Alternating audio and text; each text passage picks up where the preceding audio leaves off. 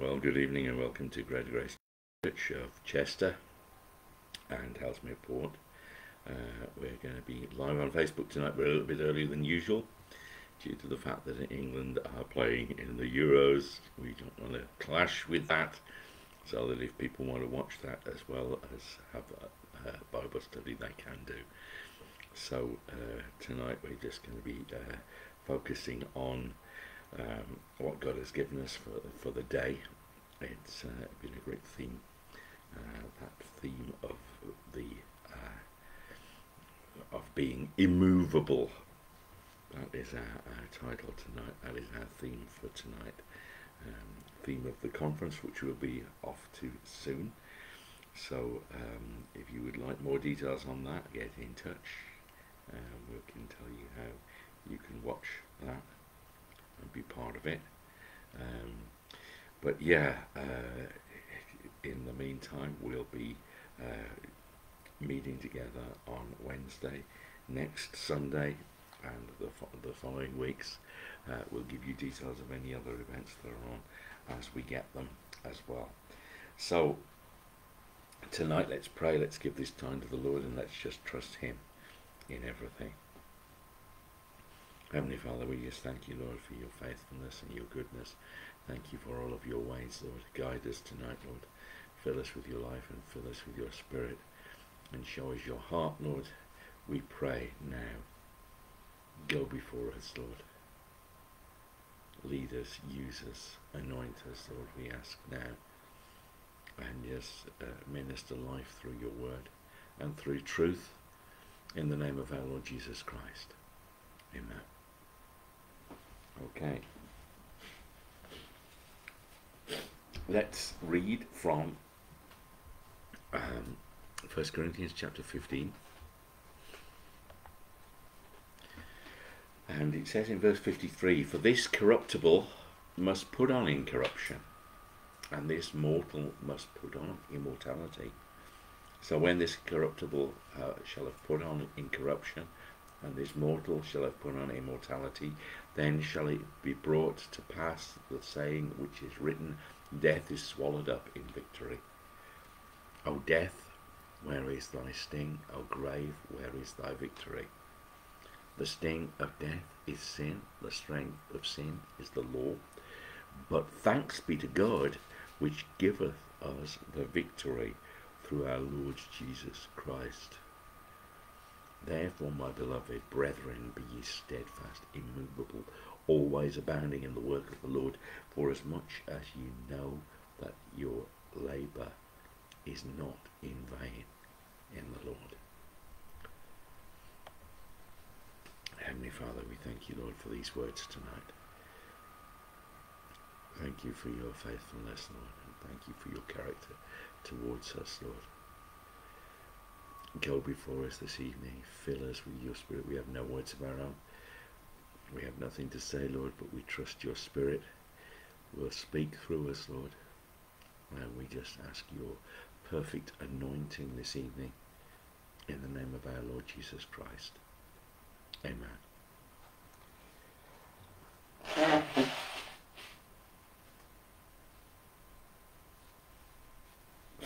Excuse me. Yes, so tonight,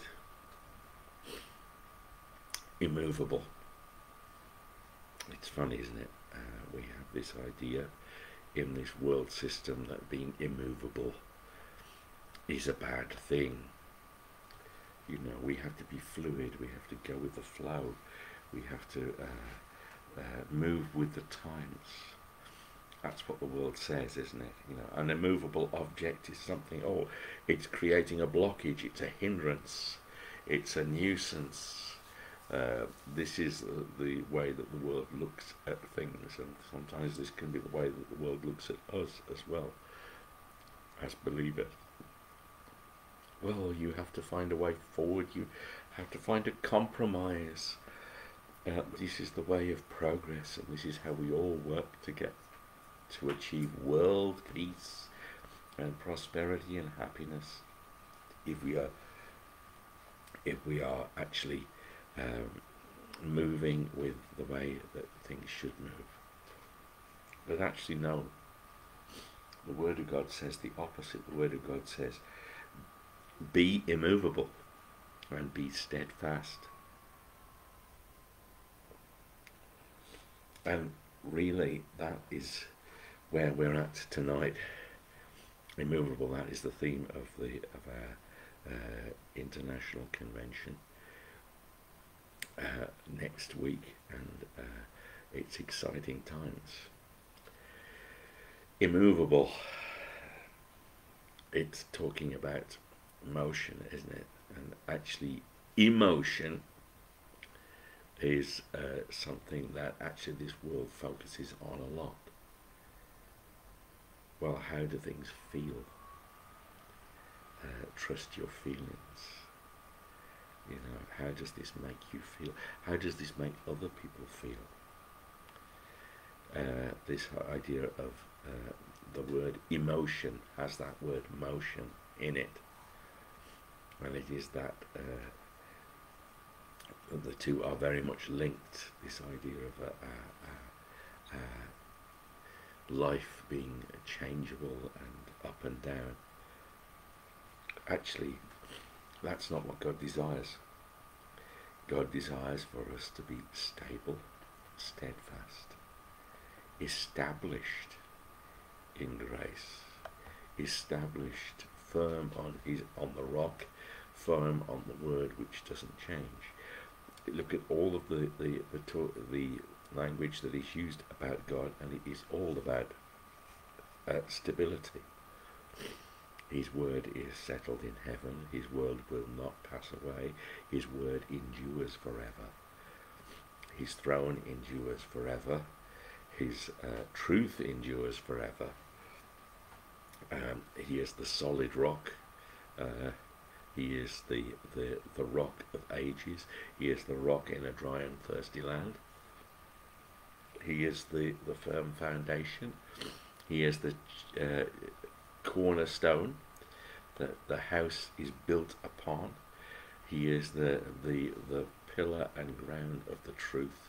Well, the church is actually the pillar and ground of the truth, as it says. And, and, but we are established, built uh, a spiritual house. We're lively stones built up into a spiritual house, uh, and we are founded on something solid. All of the, the imagery around God is about that stability, uh, sol- solidity. Why? So we can trust. We don't trust in something that is movable, do we? You don't really want to step on uh, a step if you think the step is going to move and give way. You don't want to sit on a chair that you think might move, or, or you know, if we if we sit or step onto something that has wheels on it, there's a good chance that we will fall flat on our face. Now, strangely enough, the, the the world doesn't seem to mind this. The world loves to put its faith in things that are not very stable in theories, in fashions, in trends, in the latest thoughts, in the latest ism. Uh, you know, oh, uh, put your faith in uh, uh postmodernism, put your faith in existentialism, put your faith in uh, um, evolutionism, in uh, Marxism, in f- is it Ah, bro.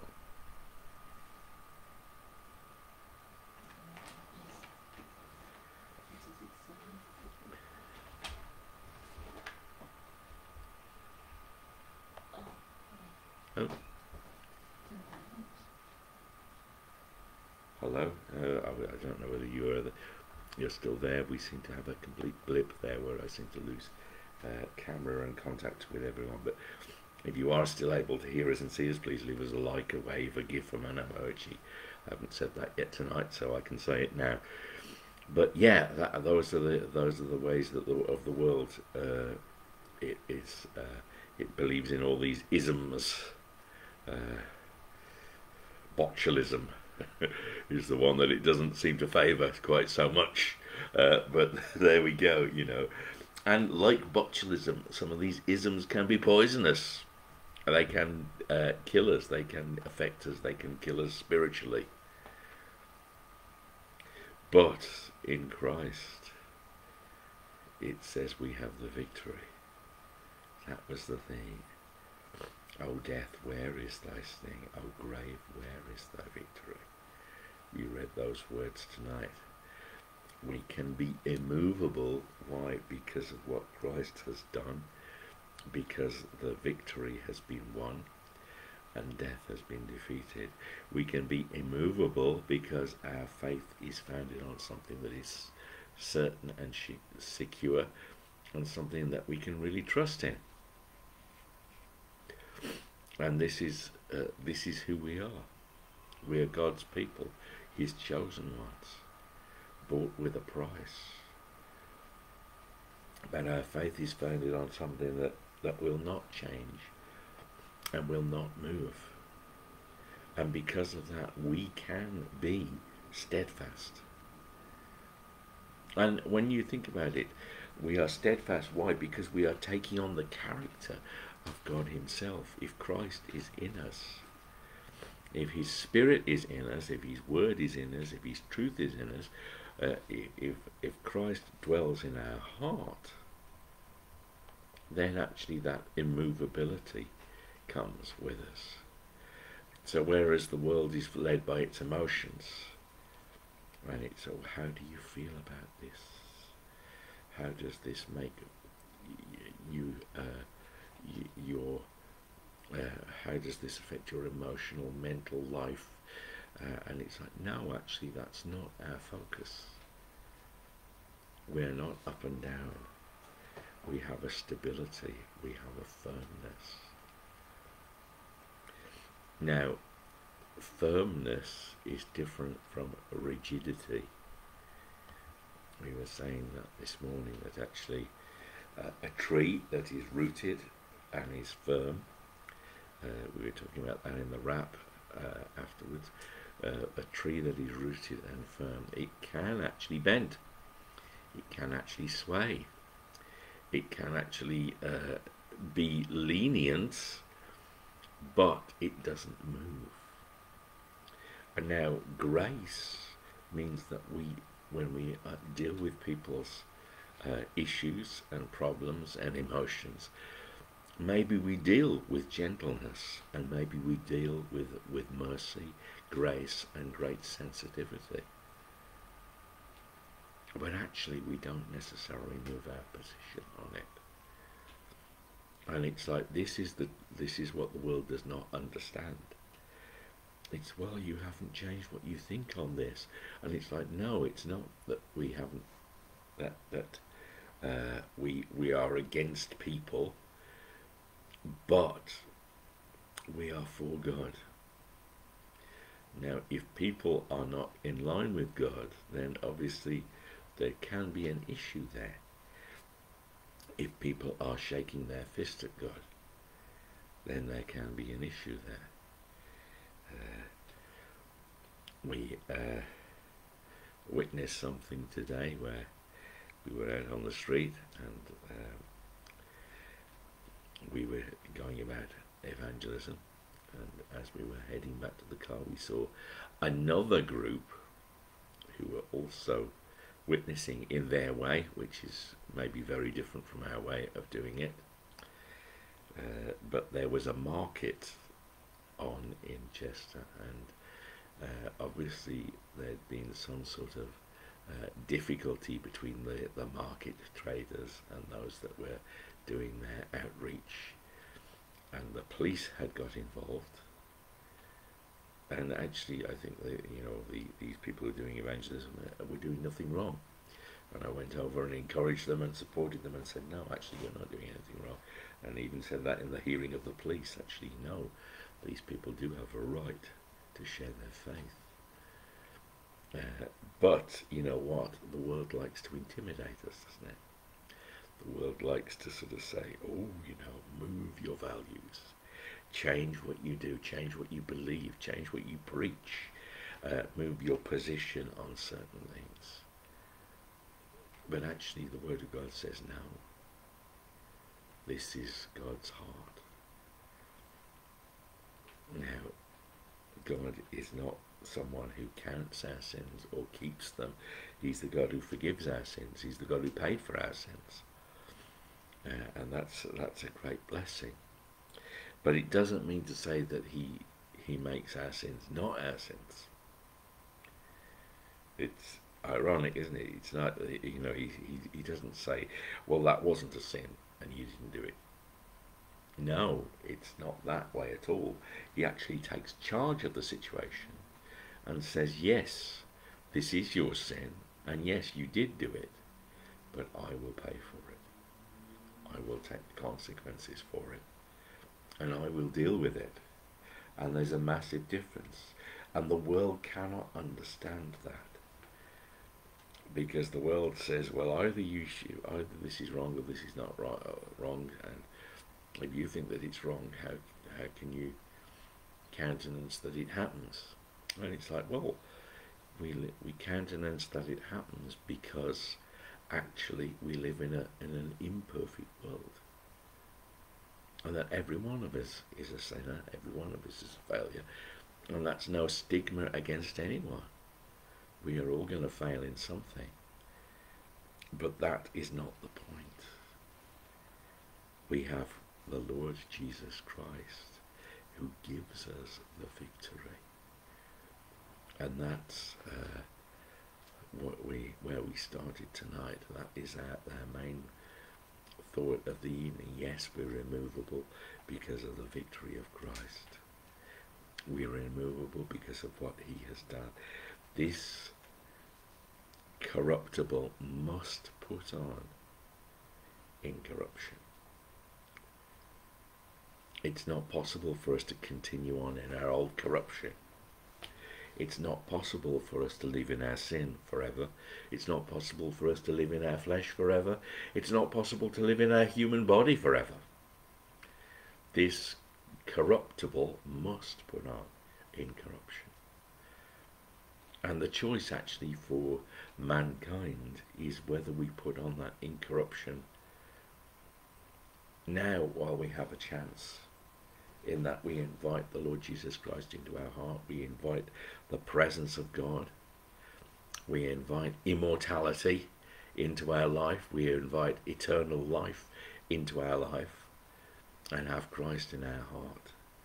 Or whether we leave it until it's too late and our corruptible body has come to an end. And there's no more chance for us to take on that incorruption. You think about it, Jesus said to Nicodemus, didn't he? Except a man be born again, he cannot see the kingdom of God. And unless we are uh, born again incorruptible, we cannot understand these things. Unless the Spirit of God uh, enlivens us enlightens us, we cannot understand these things. Why? Because the God of this world has blinded the eyes of those who do not believe. And he will continue to do so. And there will always be this mismatch between those that are in the world looking for the world's viewpoint and saying, just move with the times, just go with the flow. Don't be so rigid, don't be so dramatic, don't make an issue of things. Don't embarrass everybody by taking a stand. And actually, the people of God who say, no, we found this God, we found a God who is true, who is for always the same. And he never changes. But this is a God that we can count on. This is a God we can rely on. This is a God we can trust. This is a God we can build our lives on. This is a God we can build our eternity on. And that is the message of the gospel tonight. I don't know why, I'm just uh, seem to be getting a, a, bit of a cold. We're going to leave it there for tonight, I think. Just uh, as uh,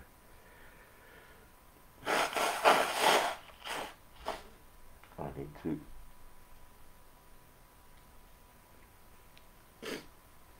to uh, keep breathing. Uh, so so uh, let's pray. Let's give this time to the Lord as well. Heavenly Father, we just thank you, Lord, for what you've given us tonight, Lord. Thank you for your word. Thank you that you are not a God who changes. Thank you that you are always the same, that you're always dependable, you're always reliable, you're always faithful, you're always true. Thank you, Lord, that your word is stable, your word is, is settled, and your word does not depart. Thank you, Lord, that your heart towards us is always the same. Thank you, Lord, that your faith towards us is always stable. Thank you, Lord, that your love for us does not fail. Thank you that your mercies are sure. Your grace is abounding. And Lord, we just worship you. We thank you for who you are and what you've done for us. And thank you, Lord, that it doesn't depend on us.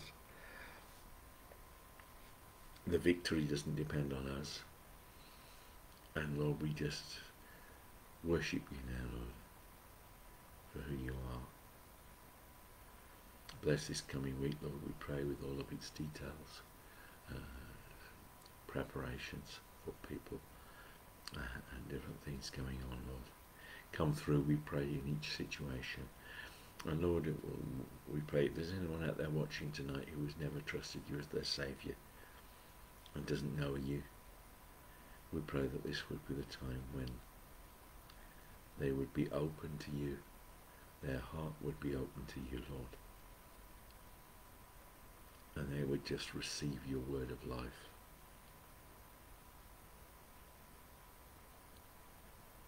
Lord, we just pray that uh, someone would open their heart, realize that they need forgiveness, realize that they need truth, realize that they need stability in their life and say, come into my heart, Lord Jesus. Fill me with your spirit. Give me your truth. And give me a life that I can uh, depend on not human life, but everlasting life. Not the flesh, but the spirit. In the name of the Lord Jesus Christ. Amen. And if you prayed that prayer for the first time tonight, please either get in touch or let someone else know or tell someone who is a believer uh, and make a note of this date. Okay, we will uh, sign off for tonight. Uh, see you all again soon. God bless uh, and bye for now.